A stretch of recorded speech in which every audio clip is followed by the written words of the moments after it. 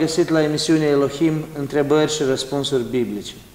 Astăzi cu noi este fratele Florin Ianovici, care este pastor la Biserica Pentecostală din București, Betel. Betel. Fraților, prin Harul Domnului o să aveți, o să primiți răspunsuri simple la întrebări poate dificile. Așa că Domnul să folosească de fratele Florin. Fii binecuvântat, frate. Bine te-am găsit. Frate Florin, prima noastră întrebare din emisiunea noastră, din partea întâi, va fi care este rolul slujitorului Domnului în biserică și în afară ei? Omul lui Dumnezeu nu are două măsuri. Nu există un om care să fie slujitor în biserică și în afară. Eu cred că omul lui Dumnezeu trebuie să aibă o măsură în toate și omul lui Dumnezeu nu mai lucrează diferit, în sensul în care în biserică trebuie să te ocupi de anumite lucruri și în afară trebuie să te ocupi poate de alte lucruri. Uh, mi-am notat câteva dintre referințele biblice, pentru că dacă întrebările sunt uh, um, funcție de ceea ce trăim, răspunsurile trebuie să fie funcție de ceea ce Dumnezeu spune că trebuie să însemne adevărul Lui. 1 Petru 4 cu 10, Biblia spune, ca niște buni ispravnici ai Harului, felurita lui Dumnezeu, fiecare dintre voi să slujească altora după darul pe care l-a primit. În biserică, în primul rând, un om al lui Dumnezeu trebuie să-și cunoască chemarea. Trebuie să-și cunoască poziția și trebuie să înțeleagă că harul e felurit și fiecare dintre noi primim ceea ce primim de la Dumnezeu și să lucreze fiecare după darul lui. Adică, cui s-a dat un dar să se țină de darul respectiv. Nu trebuie să râvnim la ceea ce au alții, pentru că lucrul acesta nu e după voia lui Dumnezeu. Apoi, Biblia spune că omul lui Dumnezeu trebuie să slujească după puterea pe care Dumnezeu a dat-o. Foarte mulți dintre oamenii lui Dumnezeu își au poveri care nu spuse de Domnul. De aceea, câteodată există o oboseală, care nu Dumnezeu este cel care o pune în om. E oboseala nepriceperii de a înțelege că până la urmă trebuie să lucrezi și după cum dă Dumnezeu și cu puterea pe care o dă Domnul Dumnezeu. Apoi, Biblia spune că slujitorul trebuie să slujească în Evrei 13 cu 7, nu suspinând, ci cu bucurie. Poate că unul dintre cele mai frumoase lucruri la un slujitor este să vezi bucuria. Să vezi, să vezi că uh, ceea ce face, face uh, din Dumnezeu și semnul că faci din Dumnezeu bucuria. Biblia spune că împărăția lui Dumnezeu nu stă în mâncare și în băutură, cum cred unii, ci uh, stă în uh, neprihănire și în bucurie în Duhul Sfânt. Și în bucurie în Duhul Sfânt. Apoi, Biblia spune în felul următor că uh, un slujitor al Dumnezeu nu trebuie să facă slujba de silă. În momentul când ai ajuns să faci lucrul pe care îl faci din obișnuință, din rutină, să-l faci ca pe un program, ca ceva automat și slujești pentru că n-ai încotro, lucrul acela nu va fi răsplătit de Dumnezeu. Și atunci să nu slujim de silă, ci de bunăvoie. Apoi, de asemenea spune Biblia că în biserică un slujitor al Lui Dumnezeu trebuie să facă slujirea cu lepădare de sine, nu pentru o poziție și nu pentru un salariu, nu pentru o plată omenească. Și uh, Biblia spune un lucru extraordinar, uh, spune că omul lui Dumnezeu în biserică trebuie să privegheze. Rolul slujitorului este să vegheze asupra celor care Dumnezeu i-a dat să fie în turma sa. Și asta înseamnă să iei aminte, asta înseamnă să te îngrijești de lucrurile oamenilor, ca să-i lipești de Dumnezeu. Unul dintre lucrurile care trebuie astăzi subliniat este următorul. Noi nu venim să ținem o slujbă la biserică ca oameni al lui Dumnezeu. Noi trebuie să priveghem, noi trebuie să ne observăm, noi trebuie să fim aproape de oamenii din biserică. Cum ai putea să știi prin ce trece un om dacă tu stai și slujești două ceasuri în biserică și mai pleci acasă? Știți cum văd eu diferența între un slujitor și unul care poate numai crede că e slujitor? După ce ai sfârșit slujirea, cât să rămână în preajma ta să te împovăreze cu ceea ce iau. Dacă un pastor, după ce o termina predica, pleacă și nimeni nu îi mai spune nimic, să-și pună un semn de întrebare. Normal, cuvântul lui Dumnezeu, faptul că e slujitor, uh, atrage lângă tine oameni necăjiți care vor să și care au nevoie de, de sfaturi. Apoi, unul dintre lucrurile esențiale ca slujitor e să împarți drept cuvântul lui Dumnezeu. Această, această recomandare care îi spune, caută să te fățișezi înaintea lui Dumnezeu ca un om drept care nu are de ce să se rușineze. Noi trebuie să nu căutăm la fața omului când spunem adevărul. Adevărul trebuie să-L reprezinte pe Cel ce însuși s-a prezentat pe El ca adevăr, pe Iisus Hristos. Și indiferent cât de dureros ar fi, mai ales în societatea asta în care parcă trebuie să mergi în vârful picioarelor ca să nu deranjezi pe unii sau pe alții, trebuie să spui adevărul. Însă nu un adevăr din acesta mecanic, un adevăr care uh, să fie uh, pur teoretic, adevărul care să aibă în vedere zidirea omului. De ce spun lucrul ăsta? Pentru că Biblia spune adevărul trebuie rostit în dragoste. Adevărul trebuie rostit în dragoste. Așa e. Următoarea întrebare sună așa. Cum se ordinau slujitorii în biserica primară, în biserica apostolilor, ucenicii, ucenicilor apostolilor? Avem câteva exemple uh, biblice ca să ne păstrăm în contextul Bibliei. Uh, mai întâi de toate, atunci când uh, apostolii împreună cu ucenicii Domnului Isus Hristos au stăruit după uh, a fi umpluți cu Duhul Sfânt. La un moment dat, Apostolul Petru se oprește și spune, știți, în zilele acestea se vorbește despre Iuda, se vorbește despre cel ce a căzut din numărul celor rânduiți de Dumnezeu și atunci ei au pus înaintea lui Dumnezeu uh, la sorți. Deci prima metodă care e consemnată în Biblie este că au pus înaintea Domnului doi bărbați, amândoi vorbiți de bine, și au tras la sorți, care dintre ei să fie. Și atunci sorțul a decis și prin sorți Domnul Dumnezeu a decis. Este o metodă care ușor, ușor i-a început să cunoască alte valențe. Spre exemplu, la un moment dat, uh, când este vorba despre slujire la mese, s-a ajuns uh, la un moment dat, uh, datorită sărăcii și oamenilor care aveau foarte multe nevoi economice, ca apostolii să nu mai slujească din cuvânt. În loc să predice Evanghelia, ei stăteau la mese, trebuiau să slujească cu ajutoare și atunci s-a ridicat uh, diaconii și uh, când au uh, adus înaintea lui Dumnezeu diaconii, au adus înaintea lui Dumnezeu în primul rând oameni vorbiți de bine. Și atunci intervine cuvântul alegere. Pentru prima dată intervine cuvântul au alegeți dintre voi oameni vorbiți de bine. Cu alte cuvinte, cei care erau slujiți au găsit de părere că ar fi bine ca din rândul lor, anumiți oameni care aveau o mărturie mai bună, să fie puși înaintea lui Dumnezeu. Și mai există încă o metodă specifică bisericii primare, când în Antiohia, Ehm, stând înaintea lui Dumnezeu cu post și rugăciune, prin descoperire dumnezeiască, Duhul Sfânt a zis, puneți-mi deaparte pe Pavel și Barnaba pentru lucrare.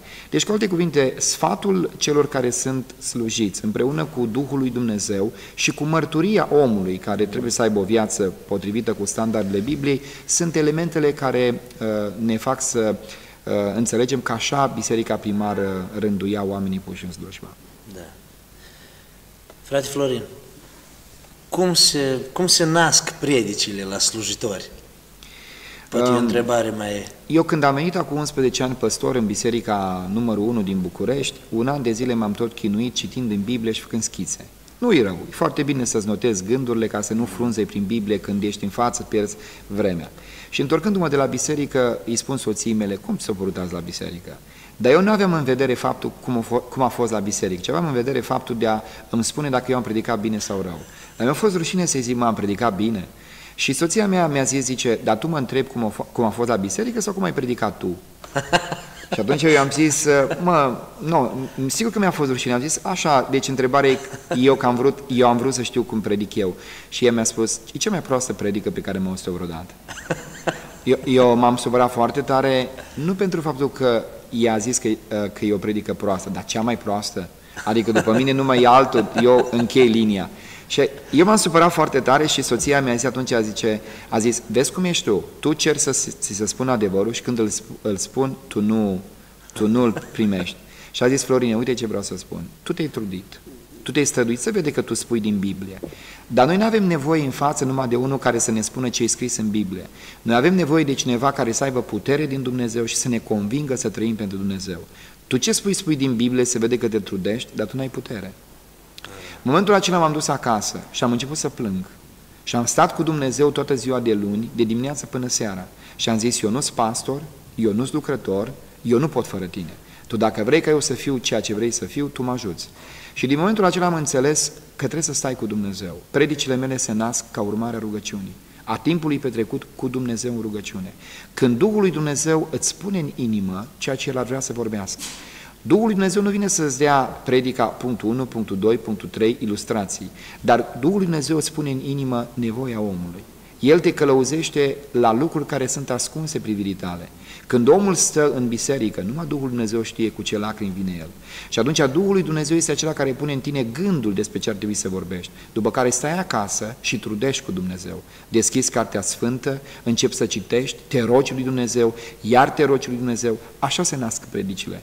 Predicile se nasc din rugăciunea pe care o ai cu Dumnezeu și mai apoi prin truda pe care un om și-o dă, uh, căutând să caute, căutând să scoată din Biblie învățăturile corecte.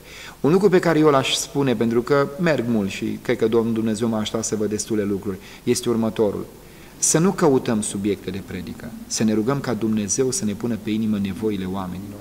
Pentru că în momentul în care un predicator se ridică și el predică gândurile lui, în momentul acela, chiar dacă vorbește din Biblie, nu-i zidire. Omul lui Dumnezeu trebuie să fie la învon și îi mulțumesc lui Dumnezeu că prin soția mea mi-a vorbit. Când ești la învon, tu trebuie să convingi pe oameni să trăiască pentru Dumnezeu. Mulți dintre oamenii care se ridic se au, în vedere, se au în vedere pe ei, să fie o predică bine aranjată, să fie cu criterii academice, nimeni să nu zică nimic. Acum, dacă la o predică nu zici nici de bine, nici de rău, atunci o predică fie în parte, fie desparte. Predica trebuie să stârnească niște reacții puternice în oameni. Cuvântul lui Dumnezeu nu e așa, o, oh, dar ce bine m-am simțit azi la biserică. Eu nu vreau asta, eu vreau să tulbure predica. Eu vreau ca predica să te tulbure și să te aducă în fața celui care poate să-ți liniștească inima. Chiar dacă primiți feedback?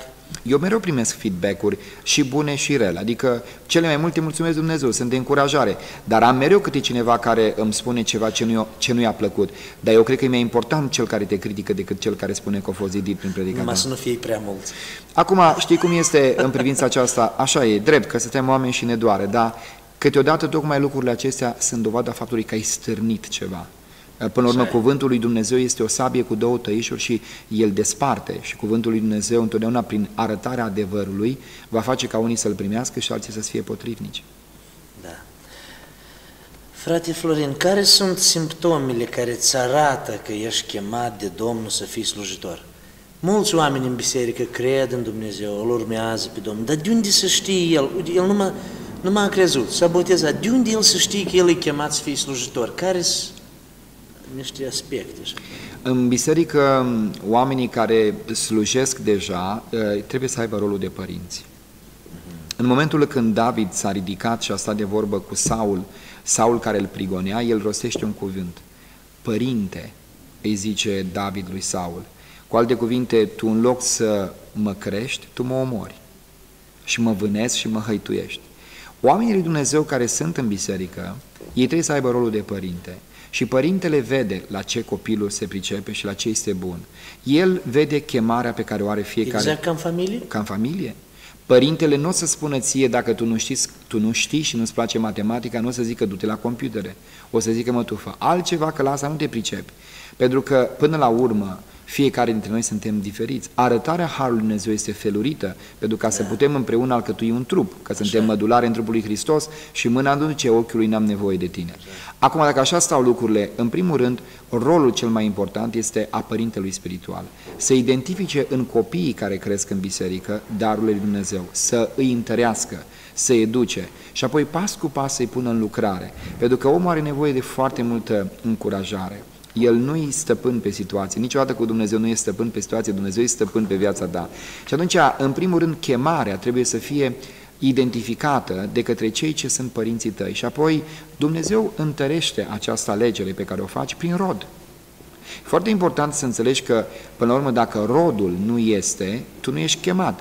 Eu știu exemplu unui om care într-o zi spunea Billy Graham că a văzut uh, pe cer niște litere, uh, D, S, P, du-te și predică, a înțeles el, D, S, P.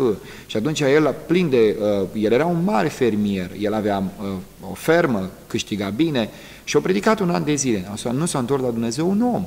Și atunci el s-a dus la Billy Graham și a zis, tu ești un mare evanghelist, tu trebuie să mă înveți pe mine cum de Dumnezeu mi-a arătat pe cer, du-te și predică și eu n-am niciun rod. Și atunci Billy Graham s-a uitat la el și a zis, știi ce, tu erai fermier, da, tu n-ai înțeles bine, zice, D, era du-te seamănă porumb. Nu era du-te și predică. Trebuie să înțelegi că după rod se întărește sau nu chemarea uh, lui Dumnezeu în tine. Un om nu poate să spună, îți chema de Dumnezeu, dar în ce face el nu niciun rod. Nu poate o gospodină să spună cea mai bună bucătărie asta, dar nimeni să nu mănânce la bucătăria ei. Așa și omul lui Dumnezeu. Altul este acela care identifică chemarea ta și te învață și te educă și stă lângă tine și te învață cum să lucrezi cu darul lui Dumnezeu și mai apoi rodul confirmă că această chemare este din partea lui Dumnezeu. Da. Frate Florin, a cincea întrebare. Ce să facă un slujitor sau cum să predice atunci când are o suferință, o tulburare, eu știu, în viața lui, ceva s-a întâmplat, dar totuși biserica stă, biserica așteaptă hrană. Totuși el trece prin suferință, tulburări. Ați trecut vreodată, nu? Ați avut așa? Nu știu să fi fost vreo săptămână în care să n-am parte de așa ceva. Eu cred că omul lui Dumnezeu are în permanență lupte și în permanență sunt fel de fel de tulburări. În momentul în care ești în tabăra lui Hristos, e cineva care este în cealaltă tabără și care te atacă în permanență. Mereu și mereu sunt situații, ultima dată când am slujit, la o seară prelungită de rugăciune și am simțit că Duhul lui Dumnezeu e prezent, imediat am cerut bisericii să se roage pentru familia mea, că am simțit că ceva se întâmplă. Și în momentul acela acasă, soția mea a închis-o și la garaj și s-a dormat un perete care uh, aproape chiar rupt piciorul. În fiecare săptămână sunt atacuri. Și orice om al lui Dumnezeu știe că se confruntă nu cu carnea și cu sângele, ci cu duhurile răutății, cu căpeteniile și stăpânirile care sunt în locurile cerești. Eu nu știu de când slujitor, decât luptă și de multe ori suferința e partea slujitorului. Ce să faci? Ia suferința aceea, permite-i să te zdrobească, du-te cu un de lemnul acela al suferinței și unge turma lui Hristos. Dar unii spun că dacă nu simți, adică el, el îi predicator sau îi pastor, predică, dar el zice, dacă nu simt, nu, nu ies să predică sau asta. Cum e cu slujitorul Domnului? Dacă nu simte să nu iasă sau cum merge? Lucrurile acestea cu simțirea sunt greșite. Omul lui Dumnezeu care este chemat să fie ostaș, ostașul nu se încurcă cu treburile vieții. Sunt multe situații în care am ajuns la biserică și starea inimii mele era una extrem de grea. Însă eu nu mă duc la biserică cu așteptări ca omul să-mi facă ceva. Eu mă duc la biserică cu așteptarea ca eu să fac ceva. Din momentul în care inima ta nu mai așteaptă că eu nu am cum să fiu dezamăgit. Știți de ce nu am cum să fiu dezamăgit la biserică? Că eu nu mă duc cu nicio așteptare. Dacă mi se întâmplă un bine la biserică, eu mă mir. Pentru că eu mă duc acolo să bonus. muncesc, să trudesc, da sigur, ca un bonus. Eu mă duc să trudesc la biserică și mă duc să zidesc. Și nu-mi permit ca simțirea să îmi dea peste cap chemare. Datoria mea, disciplina vieții mele este să merg înainte. Sigur, Îs alte lucruri când uh, omul lui Dumnezeu are niște tulburări care îl împiedică să facă lucrarea pentru că el a greșit. Când tulburările vin ca urmare a unor lucruri care țin de tine, atunci este bine să-ți iei o pauză și să stai cu Dumnezeu în rugăciune și poți până îți regăsești pasiunea, până regăsești în Dumnezeu tăria pe care un om atunci trebuie să o aibă. Dar faptul că unul te vorbește de rău, faptul că altul nu-i, pla- nu place de ochii tăi, faptul că ai necazuri, nu trebuie să te oprească din slujire. Toată suferința aceea îi mai mare putere din Dumnezeu. Pentru că zdrobirea pe care o face necazul te califică înaintea lui Dumnezeu să fii un slujitor mai bun. Nu te poți duce să vorbești despre ce n-ai trăit. Cu, cum să-i spui un om, cum să-i spui unui om care care e bolnav, tu care n-ai fost niciodată. Cum să-i spui unui om care n-are ce mânca? Eu am trăit sărăcie, am, am stat ca un om hăituit din, din stânga și din dreapta, fără părinți alături de mine și eu știu ce înseamnă să n-ai ce mânca. Eu știu ce înseamnă să te duci seara cu îngrijorare uh, la somn și nu mai vine somnul. Și atunci astea trebuie să le lași în viața ta pentru că Dumnezeu aduce aceste necazuri, aceste suferințe ca să te califice, să înțelegi și să, să vorbești din ce în ce mai mult cu profunzime. Da. Următoarea întrebare. Care sunt bucuriile unui slujitor și când și cum ar trebui să se bucure un slujitor? Eu nu știu decât o bucurie, ce pe care o spune Apostolul Pavel. Frații mei, cununa și bucuria mea. Uh, bucuria unui slujitor e rodul. Uh, eu am să spun un lucru. Ceva mulți ani înainte am luat doi copii de pe stradă. Unul avea 8 ani și unul avea vreo 10 ani. Una era o fată, unul era băiat. I-am crescut la noi în orfelinat și într-o zi amândoi s-au întâlnit cu Dumnezeu. L-am botezat și pe unul, l-am botezat și pe altul. După care ei s-au căsătorit, eu i-am căsătorit și au născut o fetiță. Și am stat la binecuvântare cu copilul lor în brațe. Acești copii de 8 și 10 ani care am cules de pe stradă au devenit niște oameni maturi care s-au căsătorit, sunt în biserică, amândoi sunt angajați și copilul lor l-am ținut eu în brațe chemând numele Domnului peste copil. În momentul acela am simțit că trăiesc și am simțit că am de ce să mă bucur. Bucuria mea nu-i faptul că uh, anumite lucruri omenești, materiale se întâmplă, ci bucuria mea e să văd cum oamenii cresc, cum cei ce au venit la biserică nasc la rândul lor ucenici, cum cei care sunt acolo se desăvârșesc în Domnul și din ce în ce mai puternici. Ai bucuria. Bucuria unui slujitor e rodul lui și Biblia spune și despre femeie. Lăsați-o să se hrănească, să se hrănească cu roada ei, cu munca ei. Și eu cred că bucuria unui slujitor este să vadă cum oamenii pentru care s-a trudit, pentru care s-a rugat, cresc în Domnul în tărie, sunt sănătoși în Domnul Dumnezeu și așa exclama Pavel prin de încântare, frații mei, cununa și bucuria mea. Deci, din răspunsul am înțeles că mai tare vă bucurați de oameni care s-au întors decât de, de predică, că predicați sau că sunteți păstori sau... Deci bucuria unui slujitor e om întors din lume. Asta. Dar cum ai putea să te bucuri de predică? Predica e trudă. Niciodată nu m-am bucurat. Eu abia aștept să termine predica, să fac chemare, să văd cine se predă. Eu trăiesc pentru momentul acela când, în urma predicii, Dumnezeu trezește la viață sufletul. Eu abia aștept momentul acela în care biserica se roagă și cuvântul Dumnezeu schimbă viața. Nu predica în sine e bucuria predicatorului. Predica e muncă, e trudă, e un exercițiu dificil, de multe ori împovărător. Trăim pentru bucuria de a vedea ce face Dumnezeu prin cuvântul Lui și uh, că predic sau nu predic, era un tânăr la noi care mereu mă bombarda, că el trebuia să cânte, el trebuia să cânte. Și uh, la un moment dat, într-o duminică dimineață, supărat că el nu a cântat, îmi trimite un mesaj de un kilometru. Nici nu l-am citit până la capăt, trebuie să mărturisesc sincer că după cum începe un mesaj, eu îl continui să-l citesc sau nu. Și atunci eu i-am dat un mesaj și am spus, mă, tu te-ai bucurat azi la biserică, o lucrat Dumnezeu, să S-au pocăit oameni. Și au zis, da, zice, s-au pocăit oameni. Măi, și ce are importanță că a lucrat Dumnezeu prin X sau prin Y? Tu nu te bucuri de rod. Are importanță că Dumnezeu lucra prin mine, dar are importanță dacă Dumnezeu lucrează prin mine. Nu contează că Dumnezeu lucrează prin predica mea sau altcuiva. Important este să întoarcă oamenii la Dumnezeu. Important e ca biserica să fie zidită. Noi trebuie să ne uităm la ceea ce înseamnă biserica, nu la ceea ce însemnăm noi pentru biserica. Da. Asta trebuie să ne avem în vedere. Frate Florin, ați călătorit încolo, încoace, în mai multe țări. Ați întâlnit sau ați auzit despre slujitori căzuți, care au căzut, Da. din diferite motive. Ce sfat ați avea pentru ei? Totuși aveți o milă pentru ei, voi nu, nu sunteți indiferent. Nu? Ce sfat ați avea pentru ei? Și vă rugăm să vă uitați în, în cameră, să le spuneți direct. Ei când se vor uita, să o primească direct. Ceea ce știu cu siguranță este faptul că un om al lui Dumnezeu, un slujitor, e atacat foarte puternic.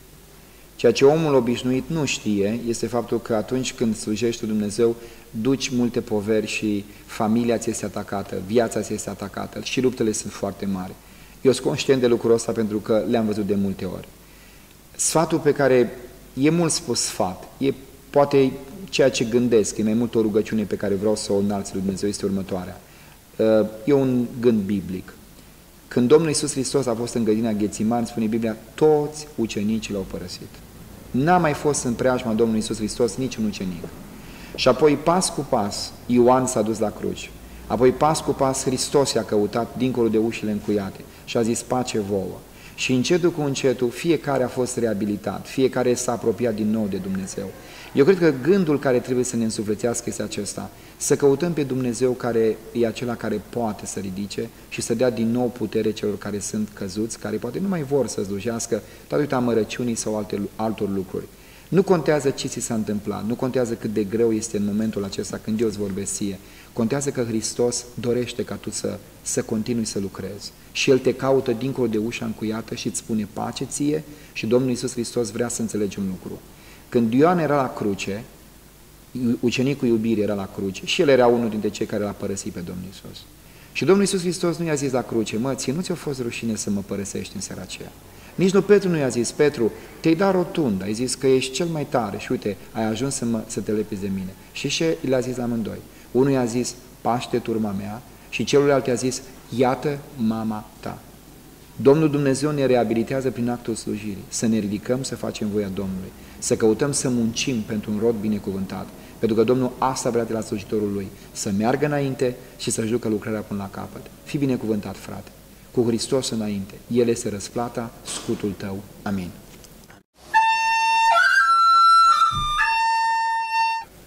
Suntem la partea a doua a emisiunii Elohim, întrebări și răspunsuri biblice cu pastorul Florin Ianovici. Și acum o să avem 10 întrebări pentru fratele Florin, la care el va răspunde scurt și sincer, așa cum a făcut-o până acum. Frate Florin, care este cea mai neînțeleasă carte din Vechiul Testament de tine? Eclesiastul. Cum procedați atunci când nu mai puteți mulțumi pe toți? Vreau să-L mulțumesc pe Domnul. Numiți una din predicile personale în care ați simțit puterea Domnului. Lecții din grădina Ghețimani. Ce v-a impresionat cel mai mult la Domnul Isus? Blândețea și smerenia. În ce lucruri vă socotiți slab? În toate. Care invitații de la biserici sunt mai des acceptate de dumneavoastră? De la sate sau de la oraș? Nu e o diferență. Din ce loc ați fi ales ca Domnul să vă ia acasă? Din ogorul slujirii. Credeți că ar trebui să iubiți mai mult decât iubiți acum? Da. Și ultima întrebare. Înfățișându-te înaintea lui Dumnezeu în ziua aceea, ce îi spune? Te-am iubit. Acesta a fost Florin Ianovici.